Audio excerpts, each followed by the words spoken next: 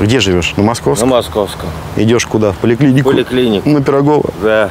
Зубчик лечить? Зубчик лечить. Ну, можно же не дойти здесь. Ну а как мне дойти? Ну я что ж пьяный что ли? Этот участок – один из самых опасных. Трехполоска, по которой с вокзалов Рязань-1 и Рязань-2 в стороны Москвы едут поезда дальнего следования, а также транспортные поезда и электрички. Переходить здесь запрещено, есть специальный знак, но люди на него не обращают внимания. Если нет забора, значит можно идти. С другой стороны, всю железную дорогу огородить невозможно. Транспортным полицейским остается только раз за разом объяснять горе пешеходам. Прогулка по путям может стоить жизни. Не надо суд, мне побыстрее. Все спешат. Вот, пешеходный мост есть. Ну, Специально. сам, я Я понимаю. Пользоваться маршруткой можно. Для этого есть специально установленное место. Вот, пожалуйста, мост, пешеходная дорожка.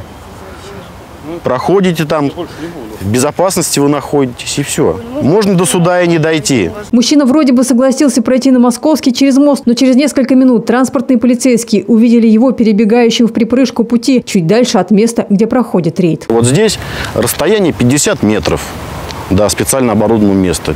Люди сокращают, и эти метры, ну, можно сказать, что это метры их жизни. То есть вот прошел ты 50 метров лишних, остался жив. Пошел ты по кратчайшему пути через железную дорогу, можешь погибнуть, либо получить травмы. Таких нарушителей сначала предупреждают, потом выписывают штраф. Сумма небольшая – 100 рублей. Поэтому единственное, что можно сделать, попытаться убедить людей не ходить здесь. Основные категории риска – пожилые люди и подростки. Рассказывай, куда вот ты сейчас идешь? Я иду на московский с друзьяами, чтобы погулять в Ашане. Хорошо. Сколько тебе лет полных? Мне 14, 14 лет. В какой школе учишься? 40 В сороковой. В сороковую школу мы тоже приходили, лекцию читали вам. Ты знаешь, что хождение по путям запрещено в неустановленных местах? А Иди сюда, родной, я тебе покажу. Вот, смотри. Знак специально повешен. тогда через мост сейчас мне пойти, дай? Тебе нужно не сейчас пройти через мост, а ходить только через мост. Основная причина, почему подростки могут попасть под поезд – банальная невнимательность. Капюшон очень серьезно ограничивает видимость. То есть возникает эффект туннельного зрения. И помимо того, что капюшончик надет, молодой человек или девушка не видит ничего вокруг, она еще и не слышит, потому что в наушничках. Поэтому мы всегда объясняем и рассказываем, что при переходе необходимо снять капюшончик, вынуть наушнички из ушей, посмотреть направо, налево, даже на специально оборудованных переходах.